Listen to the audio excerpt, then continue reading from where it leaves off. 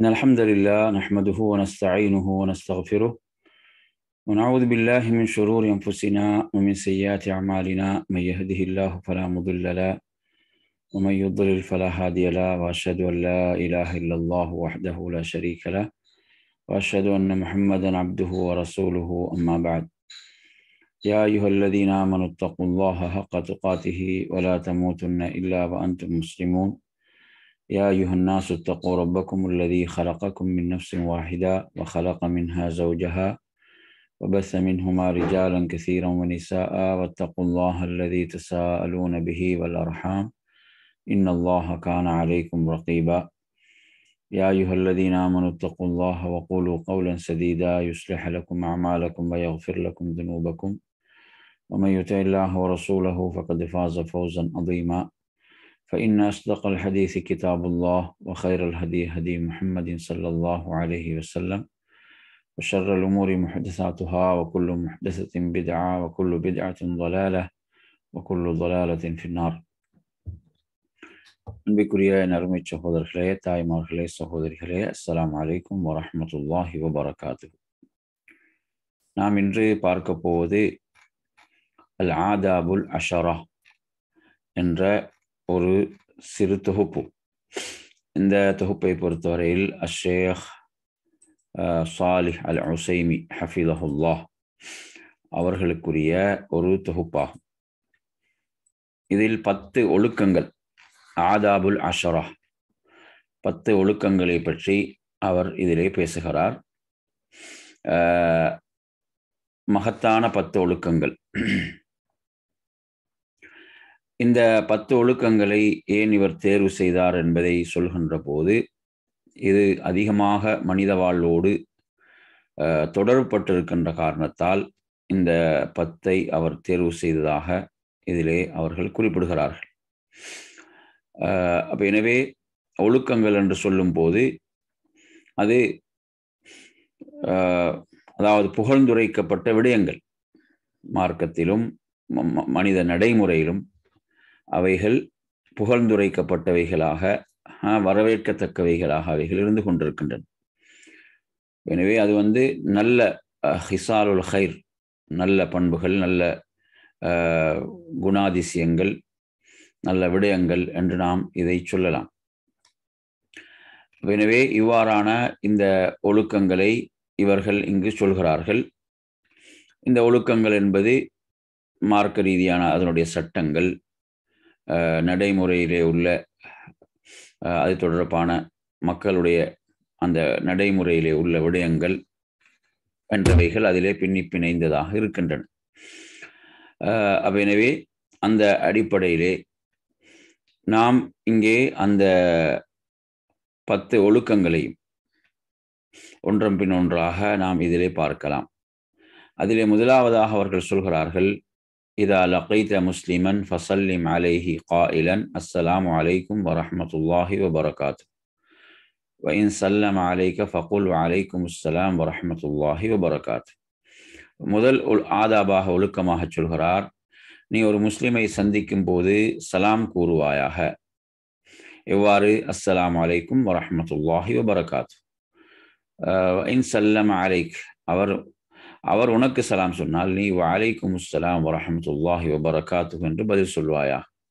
இதில் வந்து முதலாவது அல் அதபுல் அவ்வல் மின் ஆதாபில் அஷரா. இந்த பத்து மகத்தான ஒழுக்கங்களில் முதலாவதாக அதபு சலாம். இதில் மூன்று மசாலாக்களை மூன்று சட்டங்களை இதிலே சொல்கிறார். முதல் சட்டமாக அதாவது நீ ஒரு முஸ்லீமை சந்தித்தால் நீ என்ன செய்வாயாக? சலாம் சொல்வாயா ஃபமின் ஆதபில் இஸ்லாம் பதுல் சலாம். இஸ்லாம் கற்றுத்தரக்கூடிய ஒழுக்கங்கள் என்றும் உள்ளதுதான். நாம் ஒரு முஸ்லீமை சந்திக்கும் போது சலாம் சொல்லுதல். இப்போ மஹல்லுஹு இதா லகீத்த முஸ்லிமன். அப்போ இங்கே என்ன? ஒரு முஸ்லீமை நீ சந்திக்கும் போது என்பதை சொல்கிறார்கள்.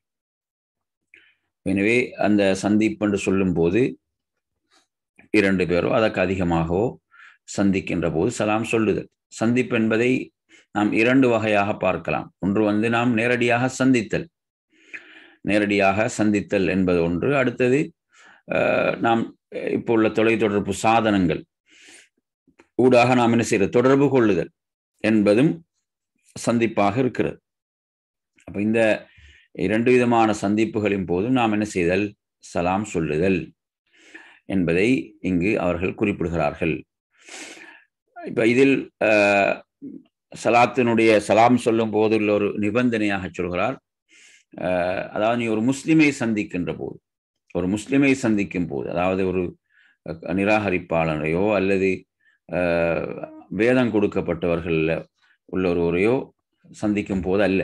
ஒரு முஸ்லிமை சந்திக்கும் போது நீ என்ன செய்வாயாக? சலாம் சொல்வாயாக ஏனென்றால் அவர்களுக்கு சலாம் சொல்ல தடை வந்திருக்கின்ற காரணத்தால் நமக்கு என்ன செய்ய முடியாது? சலாம் சொல்ல முடியாது என்பதை சொல்கிறார்கள். அல்லாவுடைய தூதர் அதை தடுத்திருக்கின்ற காரணத்தால். வல் மஸ் அலத்து சானியா இதில் இரண்டாவது சட்டமாக அவர்கள் சொல்கிறார்கள். எவ்வாறு சலாம் சொல்லுதல் என்றால் அஸ்ஸலாம் அலைக்கும் வரஹமத்துல்லாஹி வபரகாத்துஹூ. என்று நாம் அதை அதாவது சம்பூர்ணமாக முழுமையாக சொல்லக்கூடிய முறை.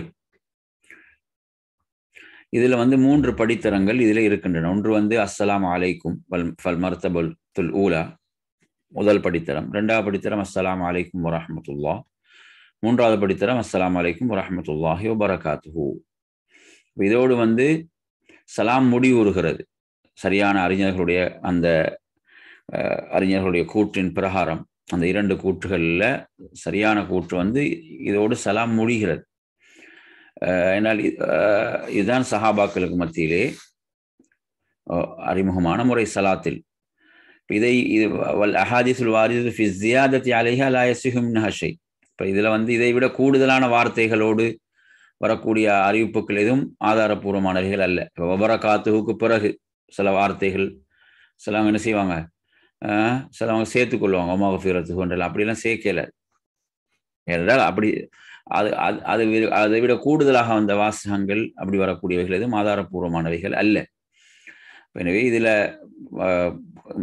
மூன்றாவதாக உள்ள முறை அதனுடைய முழுமையான முறையாக இருந்து கொண்டிருக்கிறது. அதுதான் அதில் உள்ள முழுமையான முறை. இவ்வாறு ஒருவர் சலாம் சொல்லும்போது எனாலு சலாசீன ஹசனா முப்பது நன்மைகளை அவர் பெற்றுக்கொள்கிறார். சபத்த பிதாலிக்கல் ஹதீசனின் நபி சலாம் இது தொடர்பான அல்லாவுடைய தூதருடைய அந்த கூற்று என்ன செய்கிறது? இடம்பெற்றிருக்கிறது. எனவே அந்த அடிப்படையில் முப்பது நன்மைகளை பெற்றுக்கொள்வார். அஸ்லாம் வலைக்கும் வரமத்துல்லாஹி வபரகாத்து என்று அவர் கூறும்போது. இல்காவு சலாமி சுன்னத்துன் இஜ்மான் இப்போ வந்து சலாம் சொல்லுது என்பது அந்த இஜ்மா உடைய அந்த கூற்றின்படி என்னதான்? அது ஒரு சுண்ணாவாகும் நகன நகலஹு இபுன் அப்துல் பர் வகைருஹு அப்போ இது வந்து இஜ்மா என்ற இந்த கூற்றை வந்து இபு இபுன் அப்துல் பர் அது அல்லாத அறிஞர்கள் என்ன செய்கிறாங்க அந்த கூற்றை பதிவு செய்கிறார்கள். அப்போ எனவே ஃபயுஸ்தஹப்பு லிமன் லக்கிய முஸ்லிமன் அன் யுல்கா சலாம் எனவே ஒரு முஸ்லிமை சந்திக்கும் போது சலாம் சொல்வது என்பது ஒரு முஸ்தஹப்பான விரும்பத்தக்க விடயமாக இருக்கிறது. அடுத்தவள் மஸ் அலத்து சாலிசா மூன்றாவது சட்டம் இதில். சல்லம் அலைக் அவர் உனக்கு சலாம் சொன்னால் நீ வாலைக்கும் சலாம் வரமத்துல்லாஹி வபரகாத்து என்று நீ என்ன செய்ய அதற்கு பதில் சொல்வாயாக. அப்போ வஹிய துபையனு சீஃபத் அரத்தி சலாம் அல் முல்கா அலைக். அப்போ சலாத்துக்கு சொல்லுவதற்கு எப்படி பதில் சொல்ல வேண்டும் என்பதை இதுதான் சலாமுக்கு பதில் சொல்லக்கூடிய முறை. சலாத்துக்கு பதில் சொல்லக்கூடிய முறை. வலவிகத்தசர் அலா அவ்வலிஹி ஜாஸ் அவர் வந்து வாலைக்கும் சலாம் என்று சுருக்கி கொண்டாலும் அது அனுமதிக்கப்பட்டதுதான். அல்லது ரஹ்ம வாலைக்கும் சலாம் வரஹமத்துல்லா அல்லது முழுமையாக சொல்றது என்ற இந்த இந்த முறைகள் அனைத்துக்கும் இதில் அனுமதி இருக்கிறது.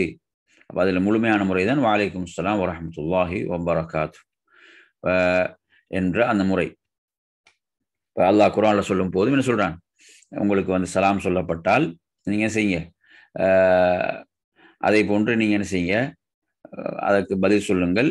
அல்லது அதை விட அதை முதலாக சொல்கிற அல்லாஹாலா அதை விட அழகாக அல்லது அதை போன்று பதில் சொல்லுங்கள். முதலாவது சொல்லும் வைதா ஹையத்தும் பித்த ஹையத்தின் ஹையூ பி அஹ்சன மின்னா. அதை விட அழகா பதில் சொல்லுங்க அல்லது அவர் உத்தூஹா அதை போன்று பதில் சொல்லுங்கன்னு அல்லாஹ் குரான்ல சொல்றான்.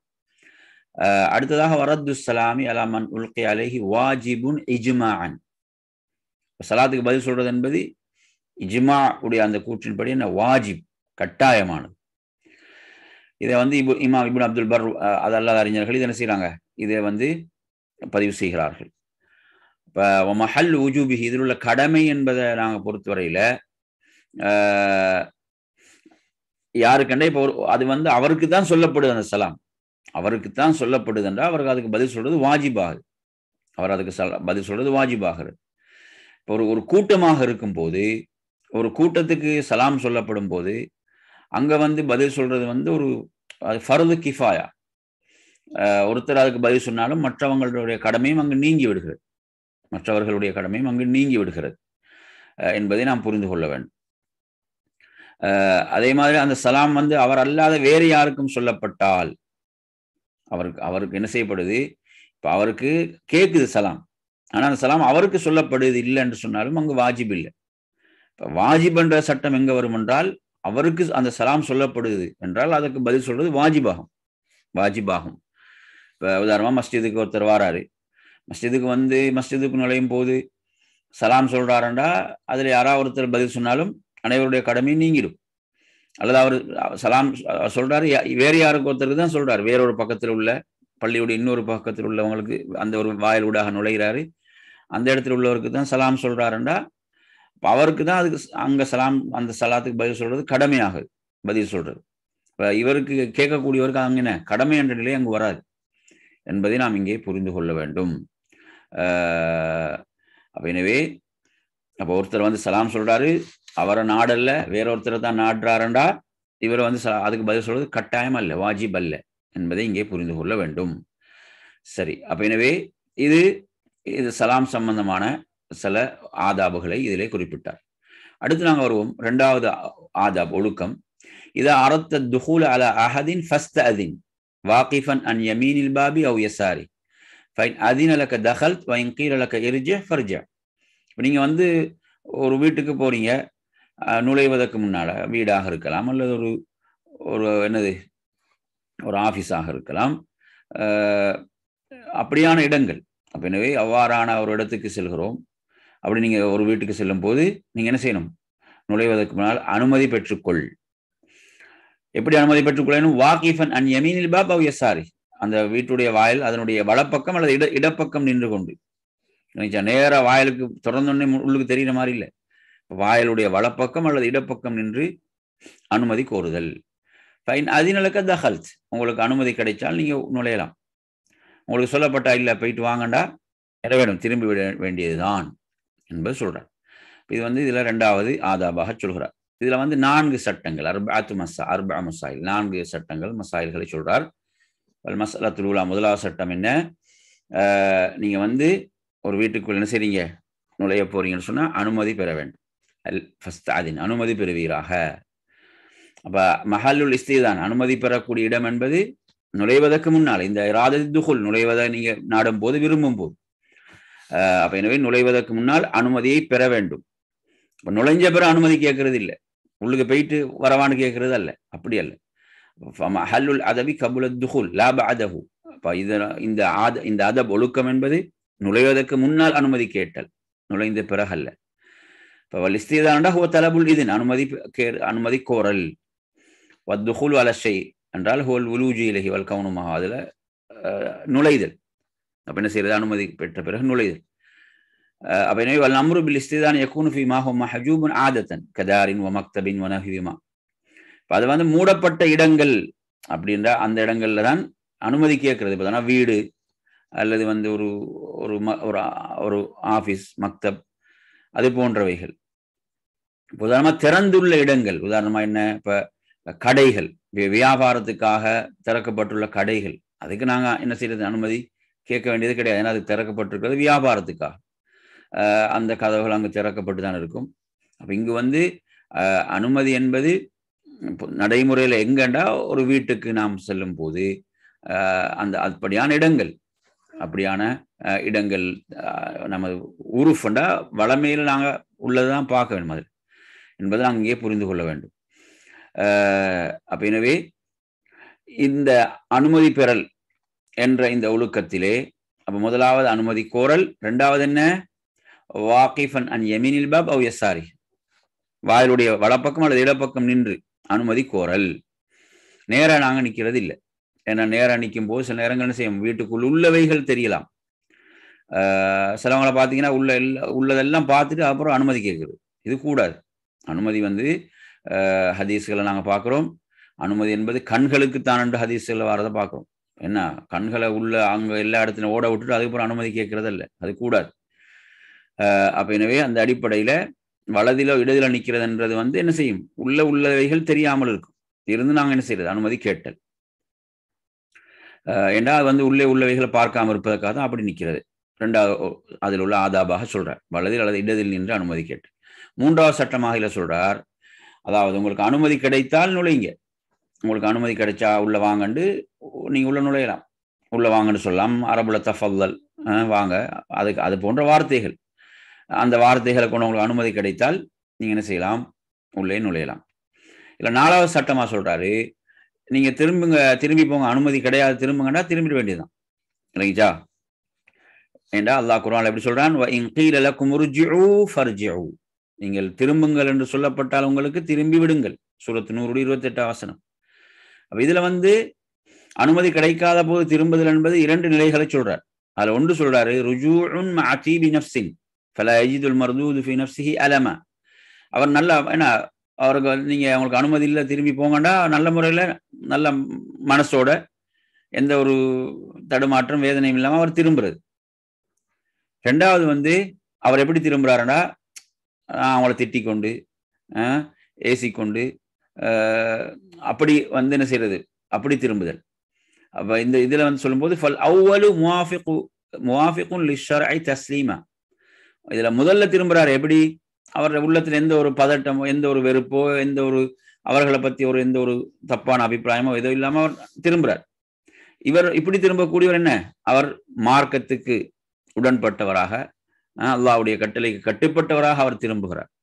இரண்டாவது திரும்புகிறாரே அவர் வந்து என்ன?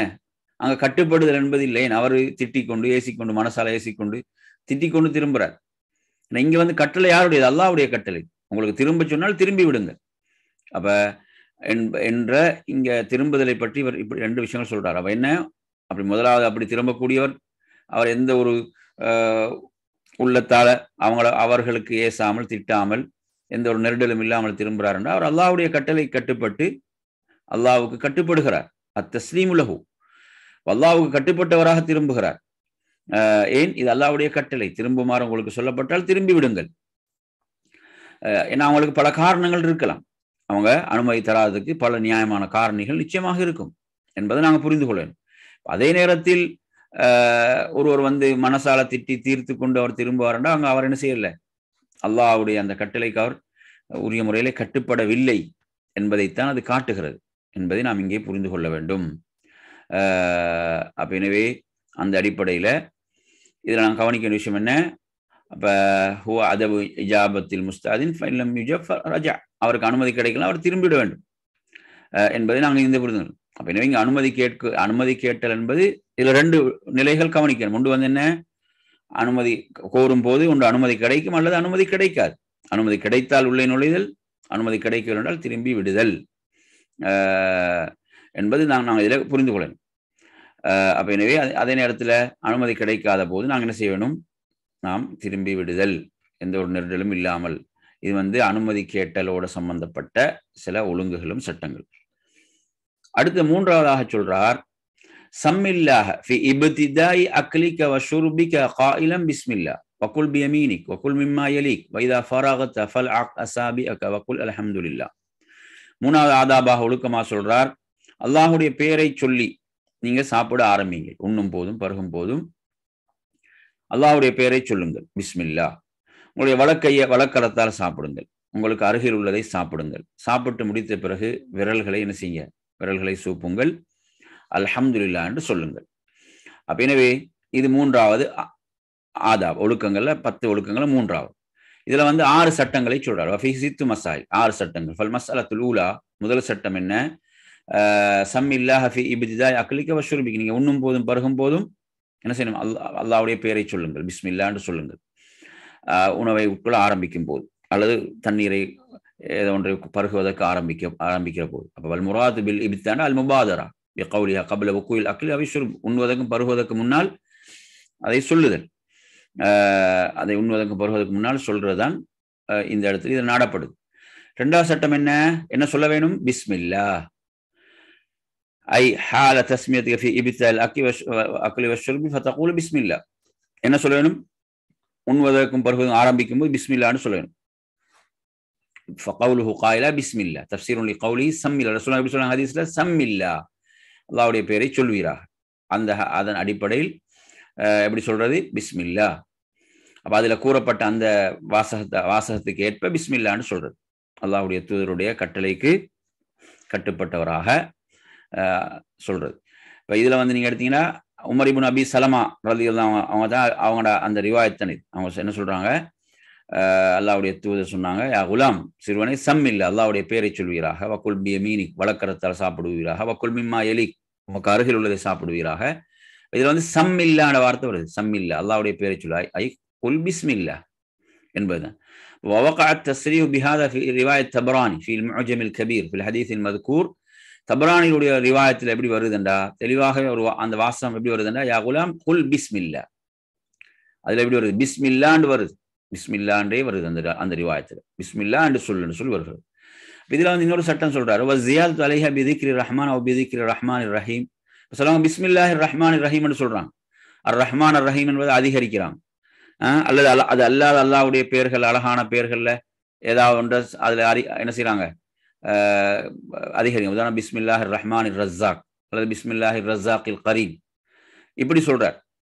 இதுல வந்து குள்ளுதாரி எதஹாக்கு குபில் அம்ரு வசியாத இது இப்படி சொல்றது மூலம் அந்த கட்டளையை நிறைவேற்றார் இன்னும் கூடுதலாக சொல்றார். அப்ப இதுல வந்து பிஸ்மில்லான்றதான் வருது. அதுல அவர் இப்படி சில வாசகங்களை அதிகரிக்கிறார். அப்படி அதிகரிக்கிறார். இது இப்படி அதிகரிக்கிறதுல வந்து அறிஞர்களுக்கு மத்தியில் கருத்து வேறுபாடு இருக்கிறது. இதுல வந்து அறிஞர்கள் எது பரிபூர்ணமானதுன்றதுல கருத்து வேறுபாடு இருக்கிறது. சில சிலவங்க சொல்றாங்க இப்படி பிஸ்மில்லா என்று சுருக்கு சுருக்கிறது பரிபூர்ணமானதா அல்லது அர் ரஹ்மான் ரஹீம் என்பதும் சொல்வது பரிபூர்ணமானதா என்றால் இதுல நவி அபு ஜக்கரியா நவி ரஹிமுல்லாங்க இபுனு தைமியா ரஹிமுல்லா போன்றவர்கள் அதிகமாக சொல்றது சிறந்தன்றாங்க. அக்மல் வாஃபுதல் உதாரணம் பிஸ்மில்லா ரஹ்மான் ரஹீம் என்ற என்ற என்ற என்ற அப்படியான வாசகங்களை சொல்றது முழுமையானது சிறந்தது பரிபூர்ணமானதுன்றாங்க. ஆனால் அபுல் ஃபதுல் ஹஜர் ஃபத்துல் பார்ல சொல்லும் போது இவங்களோட இந்த இமாம் நாயூர் ரஹமுல்லா கருத்தில் சொன்ன பிறகு சொல்கிறாரு இவ்வாறு வந்து அது பரிபூர்ணம்னு சொல்றதுக்கு ஆதாரம் தேவை. அதுக்கு அப்போ அப்படி சொல்லணும் அதுக்கு ஆதாரம் தேவை. இமாம் இப்னஜர் ரஹமுல்லா சொல்கிறாங்க பிஸ்மில்லா சொல்லுவாங்க எந்த அளவுக்கு சொன்னால் அந்த அளவு நிறுத்தி கொள்றதுதான் சிறந்தது. அப்போ எனவே இதில் இப்னு ஹஜர் ரஹமோட கருத்து தான் இதில் பலமாக இதில் குறிப்பிடுறாங்க. ஹதீஸ்ல வந்த அளவோடு சுருக்கி கொள்றதுதான் சிறந்ததாக இதிலே குறிப்பிடுகிறார்கள். அதனால் அப்படி சொல்ல அனுமதி இருக்குது அப்படி கூடுதலாக சொல்கிறன்றது விரும்பினா சொல்லிக் கொள்ளலாம். ஆனால் அந்த அளவோடு நிறுத்தி கொள்வது சிறந்தது என்பதை குறிப்பிடுகிறார்கள். அதே மாதிரி ஒருவர் வந்து இப்போ நாங்கள் ஆரம்பத்தில் பிஸ்மில்லான்னு சொல்றது ஒருத்தர் அவ அவ்வாறு சொல்லவில்லை என்றால் இரண்டு நிலைகள் இருக்கிறது. ஒன்று வந்து இப்போ சாப்பிட்டு கொண்டிருக்கும் போது ஞாபகம் வந்தால் அவர் சொல்ல வேண்டும் பிஸ்மில்லாஹி ஃபி அவ்வலிஹி ஆஹிரிஹின்னு சொல்லணும். பிஸ்மில்லாஹி ஃபி அவ்வலிஹி ஆஹிரி அதன் ஆரம்பத்திலும் இறுதியிலும் அல்லாவுடைய பெயரை கொண்டு. அடுத்து இன்னொரு நிலை இருக்குது. சாப்பிட்டு முடிஞ்ச பிறகு தான் அவருக்கு ஞாபகம் வருது. பிஸ்மில்லான்னு சொல்லலன்றது. அப்பா அவர் திரும்ப அதை சொல்ல வேண்டியது கிடையாது. சொல்ல வேண்டியது இல்லை. என்ன சாப்பிட்டு முடிச்சிட்டார். சரி அடுத்த வல் மசாலத்து சாலிசா. மூன்றாவது சட்டம் என்ன? வக்குல் பியமீனிக். உனது வலது கரத்தால் சாப்பிடுவீராக. அப்ப வலது வலது கரத்தால் சாப்பிடுவீராக. எனவே நாங்கள் உண்ணும் போதும் பருகும் போதும் வலது கரத்தால் உண்ண வேண்டும் பருக வேண்டும். நிறைய பேர் சாப்பிடும் போது தண்ணீர் குடிக்கும் போது வலதால் குடிக்கிறது கிடையாது. இடத்தை பயன்படுத்தணும். அது கூடாது. என்றதை நாங்கள் புரிஞ்சுக்கணும். நிறைய பேர் அந்த தவறு செய்கிறான் அப்போ வலது தான் ஏன்னா இடது வந்து ஷெய்தான் இடதால் உண்ணுவது பருகுவதெல்லாம் ஷெய்தான் என்று சொல்லாங்க சொல்கிறாங்க ஷெய்தானுக்கு ஒரு ஒரு மூமின் ஒப்பாக கூடாது. எனவே அந்த அடிப்படையில் வலது கரத்தால் சாப்பிடுதல் வக்குல் பியமீனி என்பதை நாங்கள் இங்கே புரிந்து கொள்ள வேண்டும். அப்போ எனவே அந்த அடிப்படையில் ஒருவருக்கு வலது கரத்தை பயன்படுத்த சக்தி இல்லை முடியாத போது அது வேறு விஷயம். முடிந்தால் அவர் அவருக்கு சக்தி இருக்கும் போது வலதைத்தான் அவர் என்ன செய்யணும்? வலதைத்தான் பயன்படுத்த வேண்டும். என்பதை புரிந்து கொள்ள வேண்டும். சரி. அடுத்ததாக இதில் அவர்கள் குறிப்பிடும் போது என்ன சொல்றாங்கன்னா நாலாவது சட்டம் உனக்கு அருகில் உள்ளதை சாப்பிடுவீராக. உனக்கு அருகில் உள்ளதை சாப்பிடுவீராக. இப்போ இதில் வந்து சொல்லும்போது என்ன ஒரு சட்டம் சொல்கிறாருன்னா இப்போ ஒரே உணவாக இருந்தால் ஒரே உணவாக இருந்தால் அருகில் உள்ளதை சாப்பிடுது இப்போ உணவு வந்து பல வகையாக இருக்குது. பல வகையான உணவுகள் இருக்கிறது. இப்போ ஒரு சஹான் எடுத்தீங்கன்னா சஹானில் பல விதமான கறிகள் அதில் இருக்கின்றன அப்படி பல வகையான உணவுகள் இருக்கும் போது என்ன செய்யலாம்? அவர் அதிலிருந்து எடுத்துக்கொள்வதில் தவறில்லை. பல வகையான உணவு அத்தூரத்தில் இருக்கிறது என்றால் அவ்வாறு எடுத்துக்கொள்வதில் குற்றம் இல்லை. ஒரே வகையான உணவு சொன்ன சொல்லும்போது அருகில் அருகில் உள்ளதை சாப்பிடுது. ஐந்தாவது சட்டமாக சொல்றார் உணவை உட்கொண்ட பிறகு விரல்களை சூப்புகிறாக அப்ப எனவே இதில் நாம் இதில் கவனிக்கும் போது அப்போ இந்த உணவுடைய ஆதாபுகளை பார்க்கும்போது மூன்றாக பிரிக்கலாம். ஒன்று வந்து உண்பதற்கு முன்னு முன்பு உண்பதற்கு முன் பேண வேண்டிய ஒழுக்கங்கள் சாப்பிட்டு கொண்டிருக்கும் போது பேண வேண்டிய ஒழுக்கங்கள் சாப்பிட்டு முடிந்த பிறகு பிறகு பேண வேண்டிய ஒழுக்கங்கள். அப்போ சாப்பிட்டு முடிந்த பிறகு பேண வேண்டியதில் விரல்களை சூப்புதல் என்பது. இல்லைங்களா விரல்களை சூப்புதல் என்பது. அதை வந்து என்ன செய்யறது? மிச்சம் சத்தமாக அருவறுப்பு பிறர் பிறருக்கு வந்து ஒரு அருவறுப்பு ஏற்படக்கூடிய விதத்துல எல்லாம் ஒரு நாகரீகமாக அது அந்த சுண்ணாவை செயல்படுத்த அப்படிதான். நாங்கள் சுண்ணாவை செயல்படுத்தும் போது அடுத்தவங்க சுண்ணாவை விரும்பக்கூடிய அமைப்பில் செயல்படுத்த அடுத்தவங்க அந்த சுண்ணாவை வெறுக்கக்கூடிய அமைப்பில் நாம் அந்த சுண்ணாவை நடைமுறை செயல்படுத்துவது அல்ல என்பதை புரிந்து கொள்ள வேண்டும். அப்போ எனவே இதுல வந்து அதில் உள்ள பறக்கத்தை நாம் பெறுவது தான் அதில் உள்ள நோக்கம். அதில் உள்ள பறக்கத்தை நாம் அடைந்து கொள்ளுது உணவில் உள்ள பறக்கத்தை அடைந்து கொள்ளுது இப்போ சில நேரங்களில் வந்து ஒருத்தர் கரண்டி போன்றவைகள் அப்படியானவைகளை பயன்படுத்தி உணவு சாப்பிடுகிறான்னு சொன்னால் அதையும் என்ன செய்யலாம் ஒருவர். அதை சூப்பிக் கொள்ளலாம். அதில் உள்ள பறக்கத்தை அவர் கவனத்திலே கொண்டு என்பதை நாம் இங்கே புரிந்து கொள்ள வேண்டும். அதே போன்று இதில் இன்னொரு சட்டம் இருக்குதுன்னா வேறு யாராவது அந்த விரலை சூப்பி விடுதல் என்ற ஒரு சட்டம் இருக்கிறது. இது வந்து உதாரணமாக ஒரு கணவன் மனைவி என்ற அடிப்படையில் அன்பென்ற அடிப்படையிலே அல்லது சிறு பிள்ளைகள் பிள்ளைகள் மீதுள்ள அன்பின் நேசத்தின் காரணத்தால் இவ்வாறு செய்வது. இந்த மாதிரி என்ன செய்யலாம்? இந்த மாதிரி செய்து கொள்வதற்கும் ஹதீஸிலே அனுமதி இருக்கிறது. இந்த மாதிரி செய்து கொள்வதற்கும் அன்பின் இறக்கத்தின் அடிப்படையிலே செய்து கொள்வதற்கு அனுமதி இருக்கிறது. அடுத்தது ஆறாவது சட்டமாக சொல்றார் அல்ஹம்துல்லான்னு சொல்றது. ஆரம்பத்தில் நாங்கள் பிஸ்மில்லான்னு சொல்லி சாப்பிட்டு முடிந்த பிறகு அல்ஹம்துல்லான்னு சொல்றது. சாப்பிட்டு முடிந்த பிறகு. அப்போ நாங்கள் ஏதோ உணவு உட்கொண்டாலோ பருகினாலோ இவ்வாறு அல்லாஹுவை புகழுதல். இதில் வந்து பலவிதமான ஹதீஸ்கள் இதில் வந்து இருக்கிறது சொல்லுவது சம்பந்தமாக. இதில் ஒருத்தர் அலஹம்துல்லான்னு சொல்லிவிட்டாலே அவர் என்ன செய்கிறார் அவருக்கு அந்த அதை அவர் நிறைவேற்றி விடுகிறார். அலஹம்துல்லான்னு சொன்னாலே போதுமானது. அதை விட கூடுதலாக ஹதீஸில் வந்த வாசகங்களையும் ஒருவர் சொல்லலாம். இப்போ ஹதீஸ்களில் பார்க்குறோம் அலஹம்துல்லாஹி தையீபன் கசீரன் முபாரக்கம் ஃபீஹி. கைர மக்ஃபீன் வலா மக்ஃபூ வலா மக்ஃபூரின் வலா முஸ்தவுதைன் ரப்பனா என்று வரக்கூடிய வார்த்தைகள் அலமதுல்லா இல்லதி ஹம்தன் கசீரன் தை முபாரக் கைர மக்ஃபீன் வலா முவத்தீன் வலா முஸ்தான் அன்ஹு ரப்பனா என்று வரக்கூடிய வாசகங்கள் இப்படியானதும் சொல்லலாம் இதுகள் தெரியாட்டால் கொஞ்சம் ஒரு அலஹம்துல்லான்னு சொல்லுதல் அலஹம்துல்லாண்டு சொல்லுதல் என்பதை நாம் இதில் கவனத்தில் கொள்ள வேண்டும். அடுத்ததாக நான்காவதாக இவர் சொல்றார். நான்காவது ஆதாபாக சொல்லும் போது சொல்றார். تكلم بطيب القول في خير واخفض صوتك متمهلا في حديثك وانصت لمن كلمك مكل مقبلا عليه ولا تقاطعه ولا تتكد ولا تتقدم بين يدي الاكبر بالكلام நான்காவது அதபாக சொல்றாரு நல்ல வார்த்தைகளை பேசுவாயாக உனது குரலை என்ன செய்வீராக தாழ்த்தி வார்த்தைகளை மெதுவா அளந்து பேசுறேன்னு சொல்லுமே அந்த மாதிரி வார்த்தைகளை பேசுறது அதே மாதிரி உங்களுக்கு உங்களுக்கு உங்களோட யார் பேசுகிறாரோ அவருக்கு நாங்கள் என்ன செய்து? செய்தாழ்த்தி அவரை முன்னோக்கி கேட் கேட்டல். அவரது பேச்சை நாங்கள் இடையில் துண்டிக்காதிருத்தல். அதே மாதிரி நாங்கள் வயதில் மூத்தவர்கள் பெரியவர்களை நாங்கள் பேச்சில் முந்தாது இருத்தல் என்ற சில ஆதாபுகளை ஒழுக்கங்களை சொல்றார். இதில் வந்து ஏழு அதபுகளை சொல்றார். எத்தனை அதபுகள்? சபு மசாயில். ஏழு அதபுகளை சொல்கிறார் முதலாவது அதப் என்ன? தகல்லம் பி தையிபில் கௌலி ஃபி ஹைர் நல்ல வார்த்தைகளை பேசுதல். புரிஞ்சா நல்ல வார்த்தைகளை பேசுதல் கெட்ட தீய வார்த்தைகளை பேசாமல் எனவே நல்ல வார்த்தைகள் என்று சொல்லும்போது மார்க்கம் விரும்பக்கூடிய சமூகத்தில் வளமையில் உள்ள நல்ல வார்த்தைகளை பேசுதல் என்பது. அல்லாவுடைய தூதர் நமக்கு இதில் சொல்லி தந்த வழிகாட்டல் தான் மன்கான யூமின் பில்லாஹி வல்யோமில் ஆஹிரி ஃபல்யக்குல் ஹைரன் அவுலியஸ்முத் அல்லாஹுவின் இறுதி நாளையும் யார் நம்பிக்கை கொள்கிறார் அவர் நல்லதை பேசட்டும் அல்லது வாய் மூடி இருக்கட்டும் என்பதுதான். எனவே இங்கு வந்து எங்களுக்கு நல்லதை பேசுவதற்கு அல்லாவுடைய தூதர் ஏவுகிறார்கள் அல்லது மௌனமாக இருத்தல் என்பதுதான். இரண்டாவது சட்டமாக சொல்றார் வஹ்ஃபில் சவுத்தக்கு உமது குரலை தாழ்த்தி கொள்வீராக. குரலை தாழ்த்தி பேசுறது. எனவே அந்த அடிப்படையில் நாங்கள் என்ன செய்யறது? குரலை குரலை தாழ்த்தி பேசுதல் என்பது. குரல் நாங்கள் உயர்த்தாது தாழ்த்தி பேசுதல் என்பது இல்லை சொல்றார். ரெண்டாவது ஆதா அதபாக சொல்றார். மூன்றாவது அதபாக இல்லை என்ன சொல்றாருண்டா? வார்த்தைகளை நாங்கள் என்ன செய்யறது? அவசர அவசரமாக இல்லாமல் வார்த்தைகளை அளந்து நாம் பேசுதல்.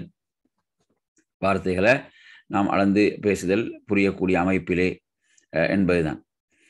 ஃபயஹுரிஜு கலாம் மஹு ஷெயன் ஃபஷயன். ஒரு வார்த்தையாக அவர் வெளியிட்டு பேசு அவர் பேசுதல் வெளிப்படுத்தி ஏன்னா புரிந்து கொள்வதற்கு விளங்குவதற்கு எளிதான அந்த முறையிலே என்பதுதான். அப்ப எனவே இதுல இவ்வாறு பேசுவது என்பதை பொறுத்தவரையில அவர் வந்து அப்படி பேசுகிறதால உள்ள நன்மைகள் என்ன? அப்ப அவர் வார்த்தைகளை நல்லா யோசிச்சு பேசுவார் அளந்து பேசுவார். அதே மாதிரி அவர் பேசக்கூடிய வார்த்தைகளை சிந்திச்சு பேசுவார். ம்? அப்போ அந்த கேட்கக்கூடியவங்களுக்கும் அதை புரியக்கூடிய அமைப்பிலே அவர் அதை என்ன செய்வார்? அந்த வார்த்தைகளை பேசுவார் என்றதுதான் இதில் உள்ள நன்மைகள். நான்காவது சட்டமாக சொல்கிறார் அன்சித் நிமங் கல்லமக். இப்போ உங்களுக்கு உங்களுக்கு யாராவது பேசும்போது நீங்கள் என்ன செய்யறது காதை கொடுத்து அவரை நீங்கள் முன்னோக்கி அதுக்கு செய் அதை செய் அவருக்கு செய்மடுக்கிறது அவர் சொல்கிறதுக்கு செய்மடுக்கிறது அப்போ எனவே இப்போ நாங்கள் பார்க்கும்போது குரானில் கூட எல்லாம் சொல்கிறோம் வைதா குரி அல் குரான் குரான் ஓதப்பட்டால் ஃபஸ்தமி உலகு வான்சித்து ஃபஸ்தமி உலகு அதற்கு நீங்கள் செவிதாழ்த்துங்கள் வான்சித்து இன்னும் என்ன செய்யுங்க? மௌனமாக வாய் மூடி செவிதாழ்த்துங்கள் இஸ்திமா என்பது என்ன? பேசுபவர் பேசக்கூடியவருடைய பேச்சை கேட்டல். இன்சாத் என்பது என்ன? இன்சாத் என்பது நாங்கள் பேசாமல் மௌனமாக என்ன செய்தல்? அதை அதற்கு கேட்டல் என்பது. இன்சாத் என்றது அலாமினல் இஸ்திமா கேட்பதை விட அது ஒரு உயர்ந்தாக இருக்கிறது. வாய் மூடி கேட்டல். வாய் மூடி கேட்டல். அப்போ வக்கு வக்குல் வக்குல் இன்சாத்தின் இஸ்திமா வசியாத வாய் மூடி என்றது கேட்டலும் அதை விட கூடுதலாக அதில் இருக்கிறது. கூடுதலாக வேண்டாம். கேட்டலும் அதே மாதிரி வாய் மூடி என்றதும் அதில் இருக்குது. அப்போ கூடுதலாக அதில் இருக்கிறது. அப்போ எனவே அதே மாதிரி கேட்கக்கூடிய ஒவ்வொருத்தரும் இன்சாத் வாய் மூடி கேட்கிறார் என்பது அல்ல என்பதை இதிலே குறிப்பிடுகிறார்கள். அடுத்து ஐந்தாவது சட்டமாக சொல்றாரு அவரை முக்பிலன் அலேஹி. அவரை அவருக்கு நாங்கள் ஒரு முக்கியத்துவம் கொடுத்தல் அவரை முன்னோக்கி அலட்சி அவரோட பேச்சை நாங்கள் அலட்சியப்படுத்தாமல் நமது உடல் அசைவுகளால் அப்படி அலட்சியப்படுத்தாமல் அவரை முன்னோக்கி நாம் என்ன செய்யறது? அவரது பேச்சை நாம் கேட்டல். அப்போ எனவே அந்த அடிப்படையில் நமது உடல் நமது நமது சிந்தனையால் அவரது பேச்சை நாம் கவனித்து கவனித்து கேட்டல் என்பதுதான். ஆறாவது சொல்றார் அவரது பேச்சை நாங்கள் இடையில துண்டிக்காமல் இருத்தல். அவரது பேச்சை முழுமையாக முடிக்கும் வரை நாங்கள் என்ன செய்யறது? அவரது பேச்சை இடையில் துண்டிக்காமல் இருத்தல் என்பதை அதிலே குறிப்பிடுகிறார்கள். அடுத்து ஏழாவது ஆதாபாக சொல்றார் என்னன்னு சொன்னால் பெரியவர்கள் வயதில் மூத்தவர்கள் என்று வரும்போது நாங்கள் அவங்கள பேச்சில் அவங்கள நாங்கள் முந்தாது இருத்தல். பெரியவங்கன்னு சொல்லும்போது ரெண்டு விதமாக சொல்றார். ஒன்று வந்து அறிவுல அறிவுல மார்க்க கல்வியில் அறிவுல மூத்தவர்கள் தலைமைத்துவம் பதவியிலே உள்ளவர்கள். அதே மாதிரி இன்னும் என்ன? வயதில் மூத்தவர்கள் என்று இருக்கிறாங்க அப்போ அதில் வந்து நாங்கள் என்ன செய்யறது? அதை கவனத்தில் கொள்ள வேண்டும். என்ன ரசூல்லாங்க ஹதீஸில் கூட பார்க்குறோம் கப்பீர் கப்பீர்ன்றாங்க கப்பீர்னா பெரியவங்க பேசுங்க பெரியவங்க பேசுங்கன்றாங்க ரசூல்லாங்க பெரியவங்களுக்கு முக்கியத்துவம் கொடுக்குறாங்க. என்ற அந்த அடிப்படையில் நாங்கள் என்ன செய்யறது? அவர்களுக்கு முக்கியத்துவம் கொடுத்தல் என்பதை நாம் இதிலே கவனிக்க வேண்டும். அதேபோன்று மாணவர்களாக இருக்கக்கூடியவர்களும் ஆசிரியர்களோடு பேண வேண்டிய இந்த ஒழுக்கம் மிக முக்கியமானது என்பதை இதிலே குறிப்பிடுகிறார்கள். அடுத்து நாம் வருவோம் ஐந்தாவது ஒழுக்கம் ஆதாப். ஐந்தாவது அதபாக ஒழுக்கமாக சொல்றார் இதா அத்தை தமல் ஜிஅக ஃபதவல்லா வனம் அலா ஷிக்கிகல் ஐமன். வத்துலு ஆயத்தல் குருசி மர்ரா வஜ்மா கஃபைக வக்ரா ஃபிஹிமா சூரத் அல் இஹ்லாஸ் வல் முஅவ்விதத்தைன் வன்ஃபுஸ் ஃபிஹிமா வம்சஹ் பிஹிமா மஸ்ஸதத மின் ஜஸதி மின் ஜஸதிக தஃஅலு தாலிக சலாசன் ஐந்தாவது அதபாக சொல்றார் நீங்க படுக்கைக்கு வந்தால் உது செய்து கொள்ளுங்கள். படுக்கைக்கு வரும்போது நீங்க உழு செய்து கொள்ளுங்கள்.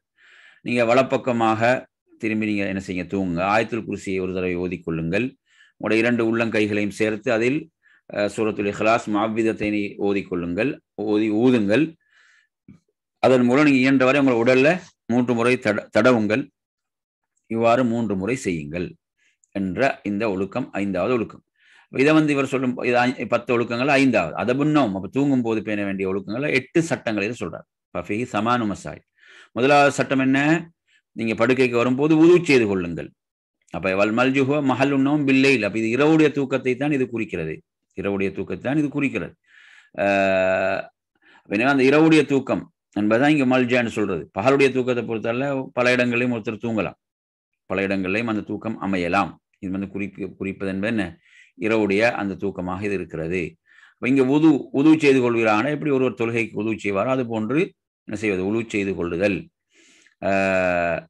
அப்போ எனவே ஒருவர் வந்து இவ்வாறு உதவு செய்து விட்டு உழுவு செய்து கொள்ளுதல் என்பது முதலாவது சட்டம். ரெண்டாவது சட்டம் என்ன? வலப்பக்கமாக திரும்பி தூங்குவீராக. அப்போ வலப்பக்கமாக திரும்பி தூங்குவீராக என்று சொல்லாங்க சொல்கிறாங்க இது ரெண்டாவது ஒழுக்கு மூன்றாவது சொல்கிறாங்க ஆயத்தில் குருசியை ஒரு தடவை ஓதிக்கொள்வீராக. ஆயத்தில் குருசி ஒரு தடவை ஓதிக்கொள்வீராக. சூரத்துல் பக்ராவுடைய இருநூத்தி ஐம்பத்தி ஐந்தாம் வசனம்.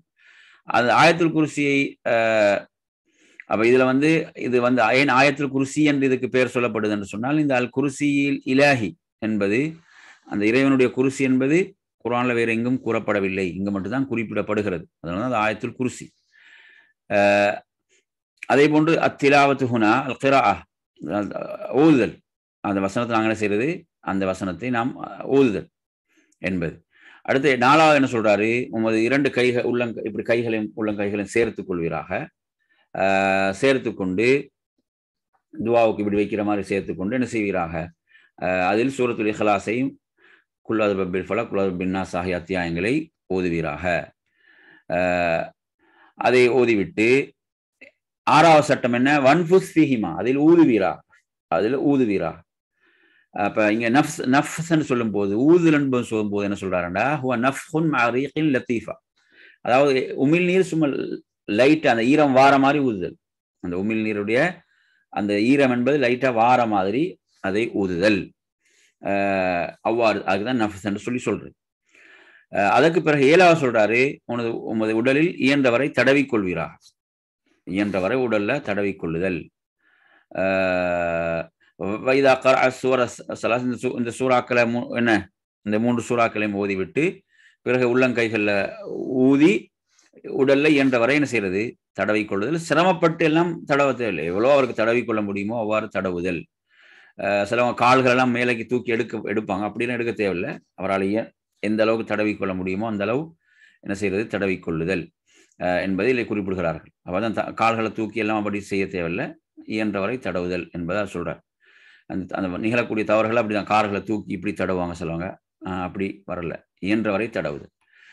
எட்டாவது சட்டமாக சொல்றார் தஃபால் தாலிக்க சலா இதை மூன்று முறை செய்வீராக. மூன்று முறை செய்வீராக.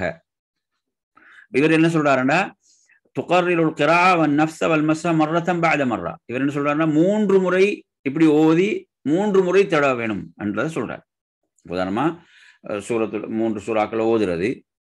ஓதி என்ன செய்யறது தடவுறது. மறுபடியும் ஊதி மறுபடியும் தடவுறது. மறுபடியும் இப்படி மூன்று முறை செய்தல் என்பதை இவர் என்ன செய்கிறாரு இதிலே குறிப்பிடுகிறார்.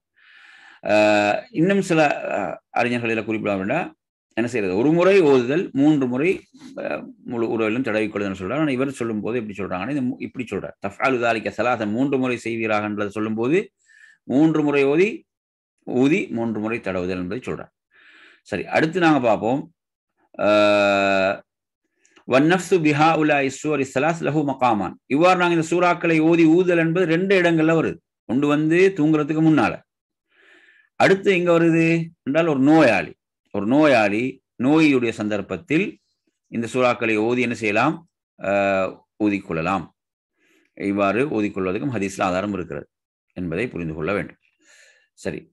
அடுத்ததாக ஆறாவது சட்டமா என்ன சொல்றாரு? ஆறாவது சொல்றாரு தும்மும் போது இது அத்தஸ்த ஃபகத்தி வஜிஹ கபியதிக் அவுபி சௌபிக் நீங்க தும்மும் போது உங்களோட முகத்தை நீங்க என்ன செய்யுங்க? கையாலையோ அல்லது உங்களோட ஆடையாலையோ மூடிக்கொள்ளுங்கள். அஹ்மதில் அல்லாவை புகழுங்கள். அலமதுல்லான்னு சொல்லுங்க. அதே நேரத்துல அவ்வாறு ஒருத்தர் அலமதுல்லான்னு சொன்னால் நீங்க என்ன செய்யுங்க? ஏர்ஹமுக்கல்லான்னு பதில் சொல்லுங்க. தும்மி ஒருத்தர் அலமதுல்லான்னு சொன்னா அதுக்கு நீ ஏர்ஹமுக்கல்லான்னு சொல்றது. அதுக்கு பதிலாக எஹதீக்குமுல்லாக ஒயஸ்டிஹு பாலக்கம் என்று சொல்லுது. இதுல வந்து ஆறு சட்டங்களை சொல்றாரு. அல்ல இது ஆறாவது ஒழுக்கம் இதுல நான்கு சட்டங்களை சொல்றார். வல்மஸ் அலத்துல் ஊலா இதில் முதல் சட்டம் என்ன? தும்மும் போது உமது கையால் என்ன செய்யறது? முகத்தை கையாலோ அல்லது ஆடையாலோ மூடிக்கொள்ளுதல். என்ன செய்யறது? மூடிக்கொள்ளுதல். என்பதை இதுல குறிப்பிடுறாங்க. இப்போ ஏன் அது அங்க அங்கே மிகவும் அடுத்தவங்களை தெரிக்காமல் தொல்லை கொடுக்காம இருக்கிறதுக்காக இந்த ஒழுங்கை கடைபிடிக்கிறது? ரசூலாங்க இவ்வாறு செய்யக்கூடியவங்களாக இருந்தாங்க. கையாலையோ தனது ஆடையாலையோ மூடிக்கொள்ளுதல் என்பது. இதுல வந்து ஒருவர் வந்து என்ன செய்யறது? தனது வலது கையால் வலது கையை இதில் என்று சொல்லி இடது கையை பயன்படுத்துதல் என்பது சிறந்தாக இருக்கிறது. இடது கையை பயன்படுத்துறது. என்ற நாங்கள் வலது கை நல்ல விஷயங்களுக்கு பயன்படுத்துகிறன்ற அடிப்படையில் இடது கையை பயன்படுத்துறதுன்றதை குறிப்பிட்டார். அடுத்து ரெண்டாவது சட்டமாக சொல்கிறார் அலஹம்துல்லான்னு நீங்க சொல்லுங்க. அலஹம்துல்லா ஹதீஸ்களில் வந்து இதை விட கூடுதலான சில வாசகங்களும் வந்து இருக்கிறது இதில் வந்து நாங்கள் அலஹம்துல்லான்னு சொல்கிறது வந்து இதில் குறைந்த அளவு ஏவப்பட்டதில் போதுமான அளவாக இதில் இருக்கிறது. என்பதை நாங்கள் புரிந்து கொள்ளலாம். சரி. அடுத்ததாக இதில் நாம் கவனிக்க வேண்டிய ஒரு விடயம் என்னவென்று சொன்னால் இப்போ சில நேரங்களில் பல வாசகங்கள் வரும்போது அதை ஒரு தடவை சொல்லலாம் இது ஒரு தடவை சொல்லலாம் அப்படி சொல்கிறதும் அந்த சுண்ணாக்கள் அனைத்தையும் நாங்கள் செயல்படுத்தியதாக இருக்கும். அந்த அமைப்பிலும் ஒரு என்ன செய்யலாம் செய்து கொள்ளலாம். மூன்றாவது சட்டம் என்ன? அதில் சொல்கிறாரு இப்போ ஒரு அலமதுல்லான்னு சொன்னால் நீங்கள் எரஹமுக்கல்லான்னு சொல்லுங்கள். எரஹமுக்கல்லா என்று நீங்கள் சொல்லுங்கள். அதாவது அவர் அலமதுல்லான்னு சொல்றதை நீங்கள் கேட்டால் இரஹமுக்கல்லான்னு சொல்லணும். என்பதுதான். ஒருத்தர் வந்து தும்முறாரு அவர் அலஹம்துல்லான்னு சொல்லலைன்னா நாங்கள் இரஹமுக்கலான்னு சொல்லக்கூடாது. அவர் அலஹம்துல்லான்னு சொன் சொல்றதை நாங்கள் கேட்டால் தான் இரஹமுக்கலான்னு சொல்ல என்பது. அல்லா உங்களுக்கு ரஹம செய்வானா? நான்காவது சட்டம் என்ன சொல்றாரு? அப்படி இரஹமுக்கல்லான்னு சொன்னவருக்கு தும்மியர் மறுபடியும் சொல்ல வேண்டியது யஹதி குமுல்லாஹ் வயுஸ்லிஹு பாலக்கும் என்பதை சொல்லுதல். அல்லாஹ் உங்களுக்கு வழிகாட்டுவானா? உங்களோட காரியங்களை எளிதாக்குவானாக சீராக்குவானாக? என்ற முறை. சஹாபாக்கள் வந்து சில வார்த்தைகள் சொல்றாங்க. எப்படி? இப்னு உமர் ரதி அல்லாஹனுமா சொல்லும் போது எப்படி சொல்றாங்கன்னா இரஹமுன் அல்லாஹ் ஐயாக்கும் உள்ளனா வலக்கும் என்று சொல்லுவாங்க. இரஹமுன் அல்லாஹு ஐயாக்கும் எமக்கும் உங்களுக்கும் அல்லா ரஹம செய்வானாக எங்களுடைய உங்களுடைய பா எங்களுடைய உங்களுடைய பாவங்களை மன்னிப்பானாக. இது மோத்தால் வருது. இது ஒரு சகையான ஒரு ரிவாய் சஹாபாக்கள் எப்படி இப்படின்னு செய்கிறாங்க இந்த மாதிரி இப்படி சொல்லியிருக்கிறாங்க. இரஹமுன் அல்லா வயரஹமுக்கும் அல்லா என்ற மாதிரி. அப்போ இப்னு அப்பாஸ் அலி அல்லா நான் சொல்லும்போது எர்ஹமுனா எர்ஹமுனா வ எர்ஹமுக்குமுல்லா என்று சொல்லி சொல்றது. அப்போ யஹதிகுமுல்லாஹ் வயஸ்லிஹி பா பாலக்கும் என்பதற்கு பதிலாக இவ்வாறு சொல்லியிருக்கிறாங்க. என்பதை பார்க்குறோம். அப்போ எனவே இந்த மாதிரி இந்த மாதிரி சொல்லிக் கொள்றதுக்கும் வாசகங்கள் இருக்கிறது என்பதை நாங்கள் இதில் புரிந்து கொள்ளலாம். இதில் நோக்கம் வந்து துவாதான் பிரார்த்தனை என்ற அந்த நோக்கத்தின் அடிப்படையிலே இந்த மாதிரி இப்படியான வாசகங்களும் சஹாபாக்கள் கூறியிருக்கிறாங்க என்பதை நாம் இதிலே புரிந்து கொள்ளலாம். எனவே இது நாங்கள் ஒரு பிதயத்தினெல்லாம் சொல்லலை. ஏன்னா சஹாபாக்கள் சொல்கிறாங்கன்னா அந்த இடத்துல சொல்லுவாங்க என்ன?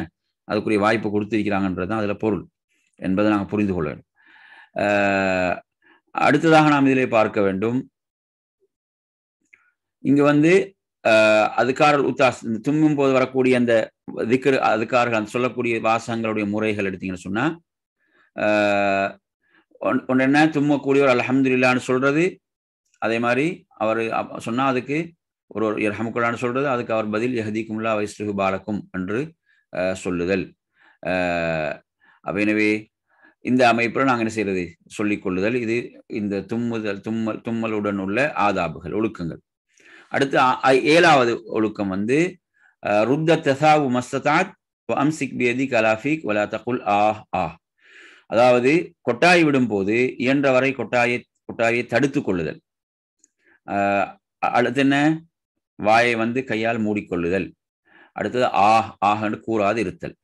அப்போ இதுல மூன்று சட்டங்களை சொல்கிறார் இதுல மூன்று சட்டங்கள். முதல் சட்டம் என்ன?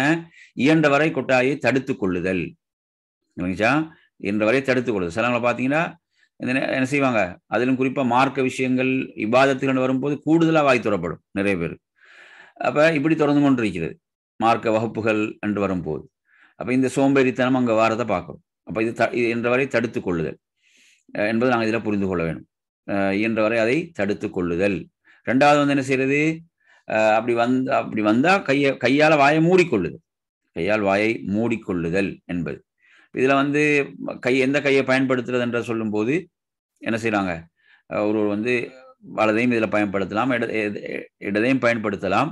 ஆனால் பயன்படுத்தும் போது இப்படி இந்த மாதிரி பயன்படுத்தல் இந்த மாதிரி என்ன செய்கிறது பயன்படுத்தல் அல்லது இடது கையில் பயன்படுத்தினா இந்த மாதிரி பயன்படுத்தல் அல்லது இப்படி பயன்படுத்தி கொள்ளுதல் இந்த மாதிரி பயன்படுத்தி கொள்ளலாம். ஏன்னா கையை வச்சு தடுங்கன்றது தான் அந்த ஹதீசுடைய வாசகம் வருகிறது. அதே மாதிரி எடுத்தீங்கன்னு சொன்னால் மூன்றாவது இதில் சொல்கிறாரு ஆ ஆகன்னு அப்படின்னு சொல்லக்கூடாது. சிலவங்க கொட்டாய் போகும்போது அந்த சத்தத்தை சேர்த்து வரதை பார்க்குறோம். ஹதீஸில் பார்க்குறோம் ஷைத்தான் சிரிக்கிறான் அப்படி சொல்லும்போது ஷைத்தான் சிரிக்கிறான் வருது. பட் இவ்வாறு சொல்லக்கூடாது சொல்லாதீங்கன்றாங்க சொல்லலாம் இவ்வாறு சொல்லக்கூடாது. அப்போ இது இதில் கவனிக்க வேண்டிய மூன்றாவது சட்டமாக இதில் இருக்கிறது என்பதை நாம் இதிலே புரிந்து கொள்ள வேண்டும். அடுத்த நறுமை சகோதரர்களை இதில் எட்டாவது சட்டம் எட்டாவது ஆதாப் ஒழுக்கத்தில் இதன் தகைத்த மஜ்லிஸின் ஃபசல்லிம். நீங்கள் என்ன செய்றீங்க? ஒரு மஜ்லிஸுக்கு வாரீங்கன்னு சொன்னால் அந்த மஜ்லிஸுக்கு வரும்போது என்ன செய்யறது சலாம் சொல்லுதல். அந்த மஜ்லிஸை விட்டு நாங்கள் வெளியேறி செல்லும் போதும் நாம் என்ன செய்யறது சலாம் சொல்லுதல். அதே மாதிரி மஜ்லிஸில் எந்த இடத்துல இடம் இருக்கோ அந்த இடத்துல அமருதல். அதே மாதிரி நிழல் சூரியன் என்ற ரெண்டுக்கும் இடையில் அப்படி உட்காராதிருத்தல். இருத்தல் இரண்டு பேரை பிரித்து விட்டு நாம் அமராதிருத்தல். அல்லது உட்கார்ந்து இருக்கக்கூடியவரை எழுப்பி விட்டு நாம் உட்காராதிருத்தல். இருத்தல் அதே மாதிரி நாங்கள் என்ன செய்யறது வர வந்தவங்களுக்கு நாங்கள் கொஞ்சம் இடத்தை விசாலப்படுத்தி கொடுத்தல் அல்லாஹுவை அந்த சபையில் நினைவு கூறுதல். அதில் கஃபாராவுடைய அந்த குறைந்த இதுதான். ஆக குறைந்த கஃபாராவுடைய துவாவையா சொல்லுது என்ன? சுபஹான கல்லாம் அபிஹம்தி கஷது அல்லா இலாஹ் இல்லா அந்த ஸ்தாபருக்கு வாத்துபிலை இதில் வந்து எட்டு சட்டங்களை சொல்கிறார் எத்தனை சட்டங்கள்? எட்டு. முதலாக என்ன? இப்போ நீங்கள் மஜ்லிஸுக்கு வாரீங்க. வந்தா இதா அபலகத்த மஜ்லிசன் வசல் இலஹி ஃபால்கி சலாம் அல அஹ்லிஹி. அப்போ நீங்கள் வரும்போது சலாம் சொல்லுது மஜ்லிஸில் வரும்போது சலாம் சொல்றது. அஸ்லாம் வலைக்கம் வரமத்துல வரகாத்து ஆரம்பித்து சொன்ன மாதிரி. அடுத்த ரெண்டாவது வந்து என்ன? அந்த மஜ்லிஸில் வந்து இடம். எந்த இடத்துல இடம் இருக்குதோ அந்த இடத்துல அமருதல். அந்த இடத்துல அந்த மஜ்லிஸுல எந்த இடத்துல இடம் இருக்குதோ அந்த இடத்தில் நாம் என்ன செய்தல்? அமர்ந்து கொள்ளுதல். என்பது. இப்போ அந்த மஜ்லிஸை பொறுத்தவரையில் எல்லாரும் நெருங்கி உட்காரும் போது அந்த இடத்துல இடம் இடம் இருக்குதோ அந்த இடத்தில் அமர்ந்து கொள்ளுதல். என்பது இதில் ரெண்டாவது ஆதாபாக ஒழுக்கமாக சொல்கிறார். இப்போ அங்கும் இங்குமாக பிரிந்து பிரிந்து உட்கார்ந்தாங்கன்னா அது அது மஜ்லிஸ்ன்றா எல்லாரும் சேர்ந்து உட்கார்றது. அப்படி உட்காரும் போது எந்த இடத்துல இடம் இருக்கோ அந்த இடத்துல உட்கார்றது. மூன்றாவது சட்டமாக என்ன சொல்றாரு? என்றால் அதாவது நிழல் சூரியன் ரெண்டுக்கு மத்தியில உட்காராது இருத்தல். இப்ப ஒரு ஒரு ஒரு பகுதி என்ன நிழல்ல ஒரு பகுதி அந்த சூரிய சூரியன்ல ஒளியில் என்று உட்கா இப்ப இப்படி உட்காரக்கூடாது. இது சம்பந்தமான தடை. இபுனு மாஜாவில் ஒரு செய்தி வருது இஸ்னாதுஹு ஹசன் ஹசன் என்ற தரத்தில் அந்த செய்தி இருக்கிறது. அப்படி ரசூலம் உட்காராதீங்கன்னு சொல்லி தடுத்திருக்கிறார். இவ்வாறு உட்காருவது ஷைத்தான் உடைய ஷைத்தான் இவ்வாறு ஷைத்தானுடைய உட்காருதலை போன்று வரக்கூடிய அந்த செய்தி வந்து அப்படி செய்திகள் இருந்தாலும் அது ஆதாரபூர்வமானவைகள் அல்ல. இதில் வந்து இது ரசூலாம் இப்படி உட்காரவை தடுக்கிறாங்க என்றுதான் அந்த இபுனு மாஜாவுடைய செய்தி சொல்கிறது. நாலாவது சட்டமாக சொல்றார் இரண்டு பேரை நாங்கள் பிரித்து உட்காராமல் இருத்தல். ரெண்டு பேரை வந்து அவங்கள பிரித்து அவங்க நடுவில் உட்கார்றது அவங்களோட அனுமதியின்றி அப்படி உட்காரக்கூடாது. என்பதை புரிந்து கொள்ளணும். இப்போ அவங்க ரெண்டு பேரும் தூரத்தில் இருக்கிறாங்க. இப்போ ரெண்டு பேர் உட்காந்து உட்காந்துக்கிறாங்க நடுவில் ஒரு சேர் வந்து என்ன செய்யுது காலியாக இருக்கிறதுன்றா அதில் உட்காரலாம். அது பிரச்சனை இல்லை. அப்படி இல்லாமல் ரெண்டு பேரை பிரித்து உட்காரும் போது அவங்க அவங்களோட அனுமதியின்றி அவ்வாறு உட்காரக்கூடாது என்றது நாங்கள் இதில் கவனிக்க வேண்டும். அதே மாதிரி ஐந்தாவது சட்டமாக சொல்கிறார் அதில் உட்கார்ந்திருக்கிறோட எழுப்பி நாங்கள் அதில் உட்காரக்கூடாது. இல்லைங்களா சிலவங்க பார்த்தீங்கன்னா சிலவங்களை எழுப்பி விடுவாங்க. எழுப்பி மற்றவங்களை உட்கார வைப்பாங்க. அது கூடாது. அதில் உட்கார்ந்திருக்கிறவர் தான் அதுக்கு தகுதி உடையவர். அதில் உள்ளவரை எழுப்பி உட்கார உட்காரக்கூடாது என்பதை இதில் கவனிக்க வேண்டும். ஆறாவது சட்டம் என்ன? இப்போ ஒருத்தர் வாராருண்டா அவருக்கு நான் கொஞ்சம் இடம் கொடுக்கறது. இல்லைங்களா சிலவங்க ஆணி அடித்த மாதிரி உட்காந்து அசைகிறதும் கிடையாது. அப்படி இல்லாமல் என்ன செய்யறது?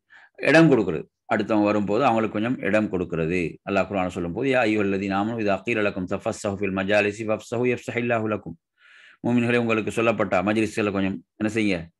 விசாலமாகுங்கன்னு சொல்ல நீங்கள் என்ன செய்ய? விசாலமாகுங்கள். அல்லாஹ் உங்களுக்கு விசாலமாக்குவான் என்று அல்லாஹு தாலா சொல்கிறான்.